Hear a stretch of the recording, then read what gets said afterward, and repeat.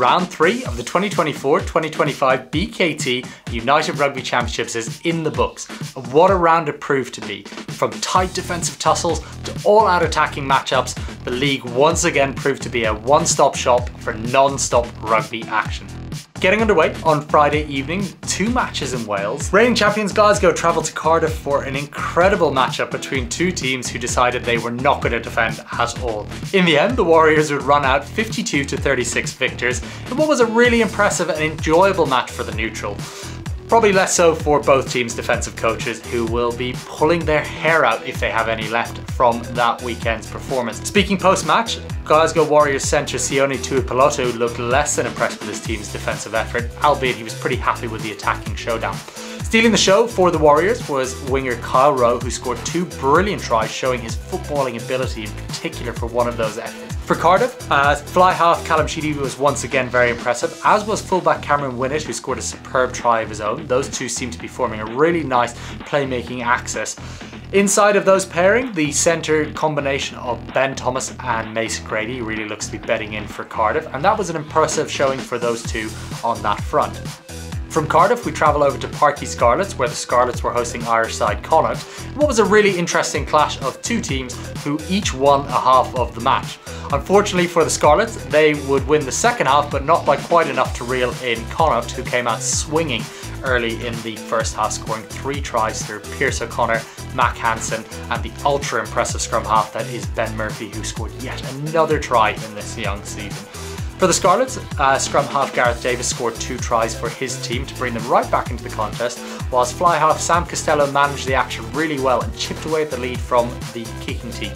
As discussed, it wouldn't be quite enough as they would slip to a 25 to 24 loss as they keep searching for that first victory of the season. Whilst Connacht, on the other hand, now have two wins and two losing bonus points from the opening game to sit nice and pr pretty in third position on the combined log heading into round four.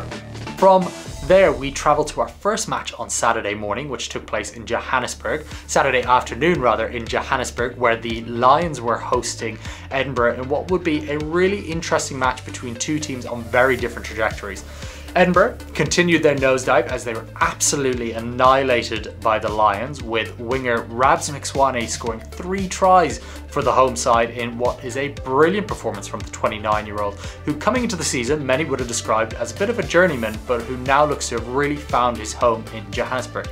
Going across the Highveld to Pretoria, where the Bulls put on a masterclass against Ulster, albeit the score looked a lot closer in the end, with Ulster scoring three tries of their own.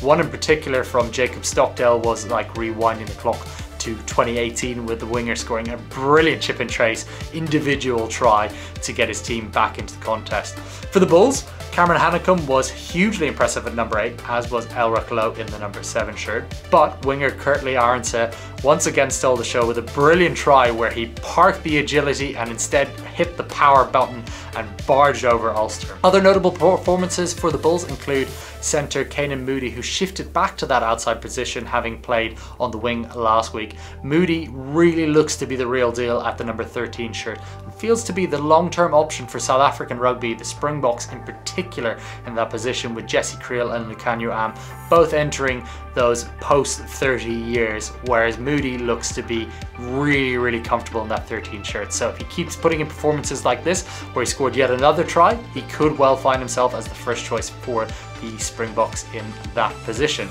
Travelling back to the Northern Hemisphere where another South African team would pick up a win as the Sharks broke the Dragons' hearts in the final minute of action in Newport. Burrowing their way for a close range try to seal the deal, the Sharks would close out what was a very tetchy affair between the two sides, which neither side could really gather control of.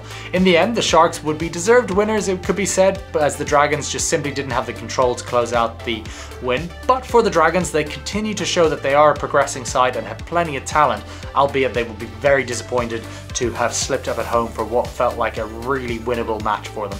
For the Sharks, it was a good win to uh, follow up a very disappointing loss for them in round two to Connacht in a match that they had control of in that one too.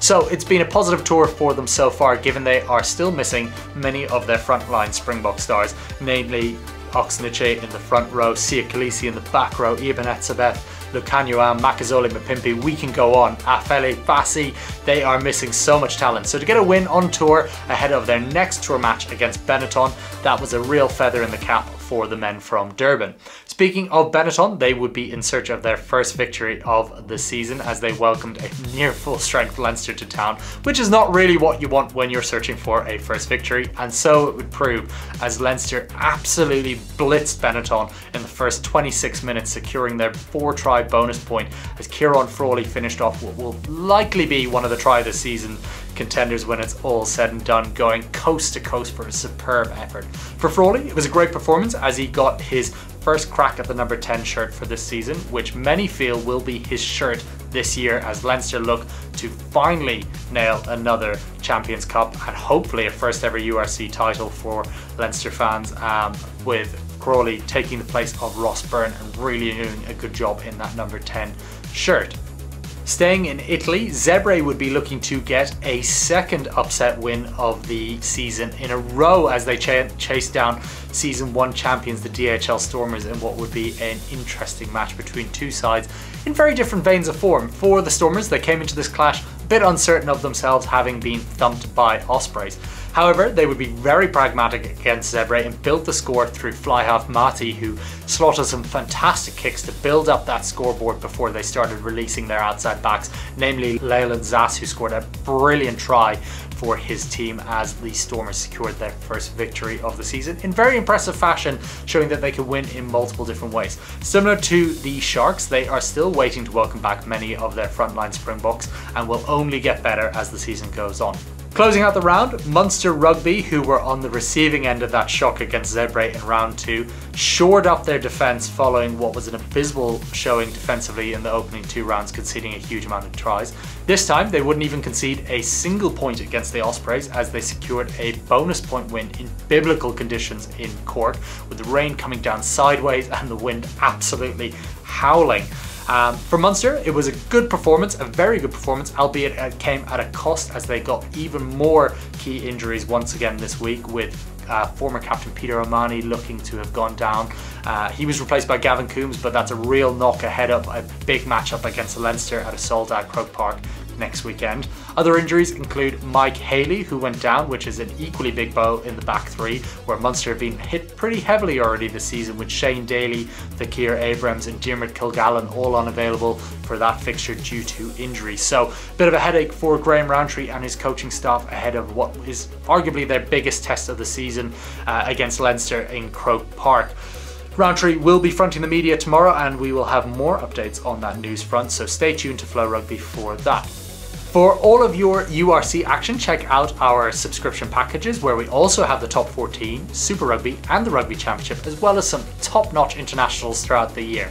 If you enjoyed this video, please feel free to subscribe, leave a like and a comment. All of your feedback is heavily valued, so thank you for checking out this video and we really hope you enjoyed this recap.